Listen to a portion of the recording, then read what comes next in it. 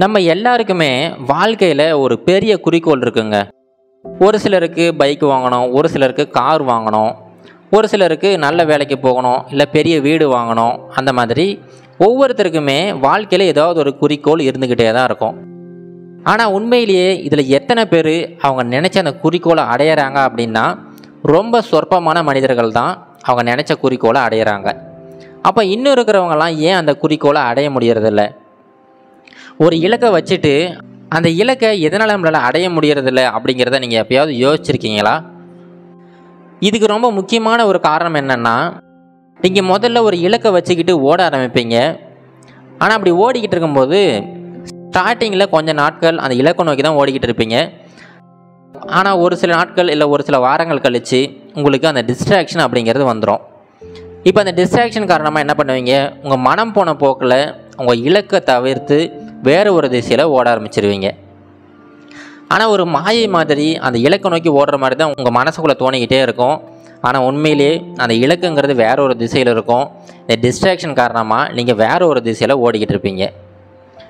இது கடைசியில் எங்கே போய் முடியும் அப்படின்னா நீங்கள் உங்களுக்குள்ளாரே நம்மளாலாம் அது சாதிக்க முடியாது. நம்மளுக்கெல்லாம் அந்த மாதிரி டார்கெட்டே வைக்கக்கூடாது. நாமெல்லாம் அதுக்கு ஆசைப்படக்கூடாது அப்படிங்கிற மாதிரி உங்களுக்குள்ளாரே ஒரு ஒரு தாழ்வு மனப்பான்மையை உருவாக்கி விட்டுடும். இந்த மாதிரி நாம் குறித்த அந்த இலக்கை போய் அடையிறது எப்படி? இந்த இடையூறுகளிலிருந்து எப்படி விடுபடுறது? இந்த மாதிரி விஷயங்களை தான் ஜென் மாஸ்டர்ஸ் வந்து அவங்க சீடர்களுக்கு எப்பவுமே சொல்லிக் கொடுப்பாங்க. அந்த ஜென் மாஸ்டர்ஸ் முக்கியமாக அந்த சீடர்களுக்கு இந்த இலக்கை வந்து எப்படி அடையிறது? அந்த இலக்கை நோக்கி போகும்போது வர அந்த இடையூறுகளை எப்படி தவிர்க்கலாம் அப்படிங்கிறத ஒவ்வொரு நாளுமே அவங்களுக்கு பயிற்சி மூலமாக சொல்லி கொடுத்துக்கிட்டே இருப்பாங்க. இந்த மாதிரி இடையூறுகள் சாதாரண மனிதர்களுக்கு மட்டும் இல்லைங்க ஜென் குருக்களுக்குமே நடக்கும். அந்த மாதிரி நடந்த ஒரு சின்ன நிகழ்வை தான் இன்றைக்கி நம்ம பார்க்க போகிறோம் முன்னொரு காலத்தில் ஒரு அழகிய மலை பிரதேசத்தில் ஒரு ஜென் ஆசிரமம் ஒன்று இருந்துச்சு. அந்த ஜென் ஆசிரமத்தில் நிறைய ஜென் குருக்கள் இருந்தாங்க நிறைய மாணவர்களுமே இருந்தாங்க. இப்போது அங்கே இருக்கிற அந்த ஜென் குருக்கள்லாம் சேர்ந்து ஒரு சின்ன போட்டி ஒன்று வைக்கிறாங்க. அது என்னென்னா யார் அதிக நேரம் பேசாமல் இருக்கிறது அப்படிங்கிற ஒரு போட்டி தான். இந்த போட்டிக்கு அங்கே இருக்கிற புதுசாக ஜாயின் பண்ண எல்லா சீடர்களுமே கலந்துக்கலாம் அப்படின்னு சொல்லிட்டு ஒரு அறிவிப்பு வெளியிடுறாங்க. இதை கேட்ட உடனே நிறைய சீடர்கள் வராங்க. ஆனால் அதில் ஒரு நாலு சீடர்கள் மட்டும்தான் கண்டிப்பாக இந்த போட்டியில் கலந்துக்கிறோம் அப்படின்னு சொல்லிட்டு அந்த தலைமை குரு வாக்குறுதி கொடுக்குறாங்க. இப்போ அந்த தலைமை குரு சொன்ன நிபந்தனை என்னென்னா இன்னும் பதினைந்து நாட்களுக்கு நீங்கள் வந்து ஒரு வார்த்தை கூட பேசக்கூடாது. ரொம்ப அமைதியாக இருக்கணும். நீங்கள் மற்ற வேலைகள்லாம் செய்யலாம். ஆனால் வாயிலிருந்து ஒரு வார்த்தை கூட வரக்கூடாது. இதை மட்டும் நீங்கள் வெற்றிகரமாக முடிச்சிட்டிங்கன்னா உங்கள் வாழ்க்கையில் ரொம்ப பெரிய ஒரு விஷயத்தை நீங்கள் கற்றுக்குவீங்க அப்படின்னு சொல்லிட்டு அந்த தலைமை குரு வந்து இவங்க எல்லாருக்குமே அறிவுரை சொல்கிறாரு இதை கேட்ட உடனே இந்த நாலு சீடர்களுமே கண்டிப்பாக ஐயா நீங்கள் சொன்னபடியே நாங்கள் இந்த போட்டியை வெற்றிகரமாக முடிப்போம் அப்படின்னு சொல்லிட்டு இவங்களுடைய வாக்குறுதியுமே கொடுக்குறாங்க. இப்போ போட்டிக்கான அந்த நாளுமே வருது. காலையில் ஆறு மணிக்கு எல்லார் முன்னிலையிலுமே இந்த போட்டியை வந்து ஆரம்பித்து விடுறாரு. இப்போ அந்த பகல் ஃபுல்லாக இவங்க யார்கிட்டையும் பேசலை ரொம்ப அமைதியாக இருக்காங்க. எந்த ஒரு டிஸ்ட்ராக்ஷனுமே இல்லாமல் நல்லபடியாக தான் போய்கிட்டு இருக்குது. இப்படி எல்லாமே நல்லா தான் போய்கிட்டு இருந்துச்சு. இப்போ அன்றைக்கி இரவுமே வருது. இப்போ அந்த இருளெல்லாம் போக்குறதுக்காக அவங்களுடைய அறையில் ஒரு சின்ன மெழுகுவர்த்தி ஒன்று ஏற்றி வச்சுருக்காங்க. அந்த மெழுகுவர்த்தி வெளிச்சத்தில் இந்த நாலு ஜென் சீடர்களுமே ரொம்ப அமைதியாக உட்காண்ட்ருக்காங்க அப்போது திடீர்னு அங்கே ரொம்ப அதிகமாக காற்றடிக்குது இவங்கள அறையில் அந்த ஜன்னலுமே திறந்து வச்சுருக்காங்க. இப்போது வேகமாக அடித்த அந்த காற்று அந்த ஜன்னல் வழியாக உள்ளே வந்து அங்கேருந்து அந்த மெழுகுவர்த்தியை அணைச்சிடுச்சு.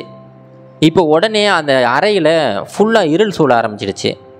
இப்போ என்னென்னா அங்கே இருந்த நாலு சீடர்களில் முதல் சீடர் சொல்கிறாரு ஐயையோ மெழுகுவர்த்தி வந்து அணைஞ்சிருச்சு அப்படின்னு சொல்லிட்டு சொல்கிறாரு அவர் சொன்ன உடனே இரண்டாவது சீடர் ஏன்பா நாம் தான் பேசக்கூடாது முடிவு எடுத்துருக்கோம்ல ஏன் பேசிக்கிட்டு இருக்க? அப்படின்னு சொல்லிட்டு இரண்டாவது ஸ்கீடர் சொல்கிறாரு இதை கேட்டுக்கிட்டு இருந்த அந்த மூணாவது ஸ்கீடர் வந்து நீங்கள் ரெண்டு பேருமே இந்த போட்டியில் தோத்துட்டீங்க அப்படின்னு சொல்லிட்டு அவருடைய வாயிலிருந்துமே அந்த வார்த்தைகள் வருது.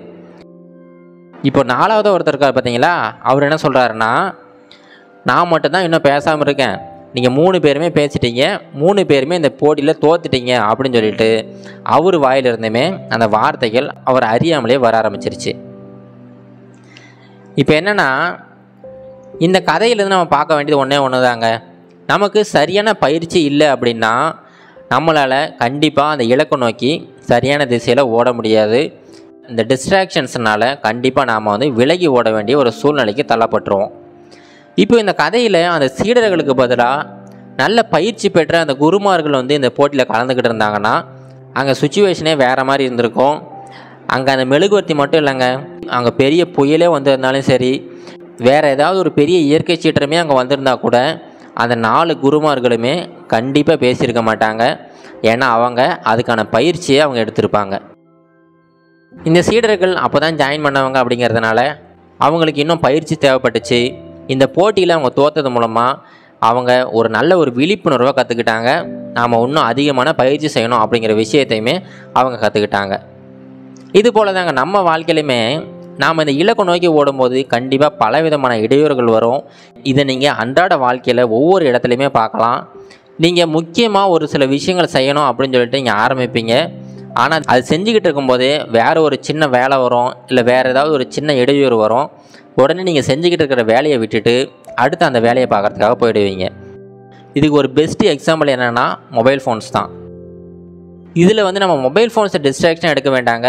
அது மொபைல் ஃபோனில் நீங்கள் ஏதாவது ஒரு விஷயத்தை பார்க்கணுன்னு உள்ளே ஓப்பன் பண்ணுறீங்க அப்படின்னு வச்சுங்களேன் ஃபார் எக்ஸாம்பிள் நீங்கள் வந்து பேங்க் ஆப் ஓப்பன் பண்ணி அதில் இருக்கிற பேலன்ஸ் செக் பண்ணணும்னு சொல்லிட்டு நீங்கள் ஓப்பன் பண்ணுறீங்க ஆனால் நீங்கள் ஓப்பன் பண்ண அடுத்த செகண்டு நிறைய நோட்டிஃபிகேஷன் வந்திருக்கும். இப்போது நீங்கள் அதில் ஏதாவது ஒரு நோட்டிஃபிகேஷனை கிளிக் பண்ணுவீங்க. இப்போ அந்த நோட்டிஃபிகேஷன் உள்ளே போனீங்கன்னா அது வந்து இன்ஸ்டாகிராமாக இருக்கலாம் இல்லை ஃபேஸ்புக்காக இருக்கலாம் இந்த மாதிரி வேறு ஏதாவது ஒரு விஷயத்தை ஓப்பன் பண்ணுவீங்க. அதில் உள்ளே போன உடனே அங்கே இருக்கிற விஷயங்களை நீங்கள் கண்டினியூஸாக பார்த்துக்கிட்டே இருப்பீங்க. இது எல்லாத்தையுமே பார்த்து முடிச்சுட்டு மறுபடியும் நீங்கள் அந்த ஃபோனை எடுத்து கீழே வச்சுருவீங்க. ஆனால் உண்மையிலேயே அந்த ஃபோனை எதுக்கு எடுத்தீங்க அப்படிங்கிற விஷயமே உங்களுக்கு வந்து மறந்து போயிடும். கொஞ்ச நேரம் கழித்து தான் நீங்கள் யோசிச்சு பார்ப்பீங்க. நம்ம ஃபோனை வந்து பேங்க் பேலன்ஸ் செக் பண்ணுறதாங்க எடுத்து பார்த்தோம். ஆனால் அதை விட்டுட்டு வேறு எதையோ பார்த்துக்கிட்டு இருந்தோமே அப்படின்னு சொல்லிட்டு உங்கள் மனசுக்குள்ளார அப்போ தான் தோணும். இது ஒரு சின்ன எக்ஸாம்பிள் தாங்க. இதே போல் தான் உங்கள் வாழ்க்கையில் நீங்கள் பெரிய பெரிய இலக்குகள் வச்சுருப்பீங்க. அந்த இலக்கை நோக்கி ஓடும்போது பல இடையூறுகள் வரும். அதெல்லாமே இடையூறுகள் தான் அப்படிங்கிறத நீங்கள் முதல்ல சரியாக இனம் காணணும். அப்படி கண்டுபிடிச்சிட்டிங்கன்னா கண்டிப்பாக அந்த இடையூறுகளை ஒதுக்கி வச்சுட்டு உங்கள் இலக்கை நோக்கி நீங்கள் வேகமாக ஓட முடியும். அப்படி நீங்கள் ஓடினா மட்டும்தான் உங்களுடைய இலக்கை நீங்கள் அடைய முடியும். நீங்கள் வேறு எந்த காரணங்களுமே சொல்ல தேவையில்ல. கண்டிப்பாக எல்லாருமே இந்த இலக்கை அடையலாம். இது கரேஜ் டு ஆக்ட் மோட்டிவேஷன் கதைகள்.